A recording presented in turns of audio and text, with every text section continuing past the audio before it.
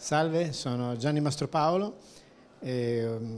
sono laureato in ingegneria elettrotecnica, mi occupo di coding da molto tempo, anche se non sono un informatico.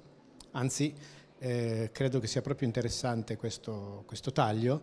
eh, utilizzare le caratteristiche dell'informatica, soprattutto la possibilità di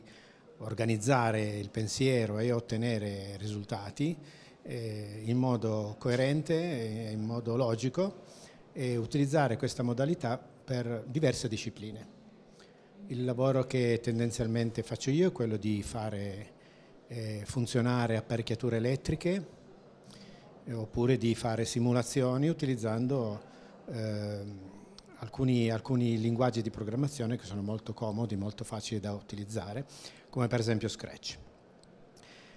Attualmente sto tenendo dei corsi di formazione per dei docenti di alcuni, istituti, di secondaria superiore, eh, anche di,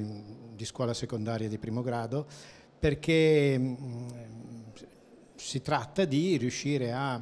eh, fare in modo che il coding rappresenti una modalità tipica del, dell'insegnamento nelle varie discipline, soprattutto scientifiche. Io lavoro molto nell'ambito scientifico, c'è una mia collega che lavora analogamente molto nell'ambito del digital storytelling. Sono tutte modalità che dovrebbero poter servire per aiutare i ragazzi a ehm, organizzare meglio il pensiero e a produrre attività che poi alla fine sono anche concrete. Io ritengo che il, um, il coding, cioè lavorare al computer e mettere in ordine il proprio pensiero per ottenere il risultato, eh, sia un modo eh, per aiutare i ragazzi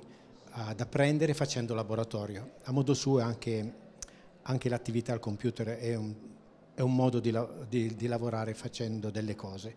Sono, meno, sono, più astratte, meno concrete del laboratorio fatto con le mani, ma comunque rappresentano un modo che consiste nel eh, fare, costruire un,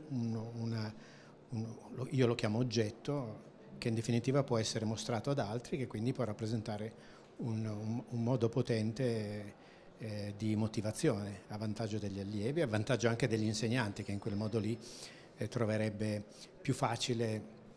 fare passare concetti, metodologie che altrimenti sarebbero solo rappresentati in modo astratto.